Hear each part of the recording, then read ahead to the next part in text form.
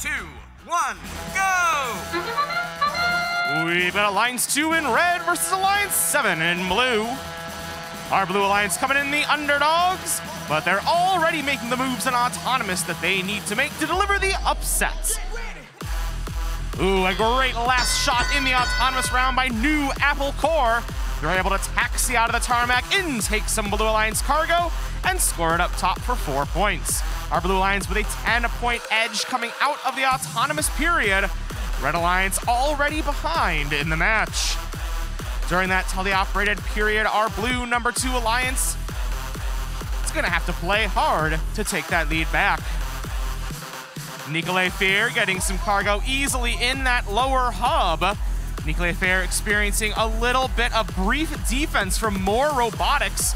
More gets in the way, slowing Fear down on their way to pick up some cargo of their own for the Blue Alliance. New Apple Corps in blue trying to line up their shot with their Limelight.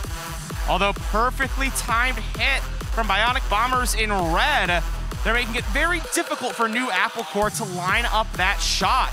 Apple Corps trying to get away from Bionic Bombers and get contact with their launch pad so that they have some relative safety just over a minute to go. Altogether, a low scoring match at this point.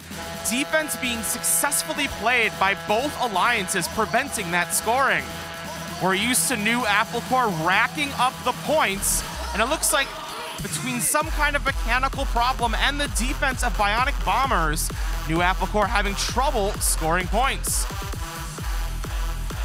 scoring plenty of points. However, the Red Alliance, Robo Husky, able to successfully score.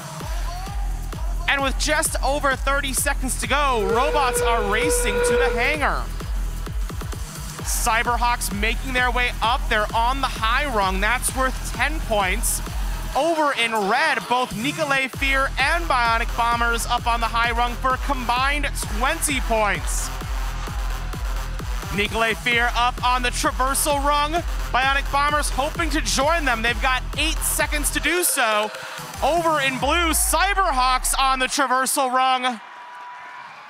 A fantastic endgame performance by our Red Alliance. A combined 36 points between all three robots. 64 to 42.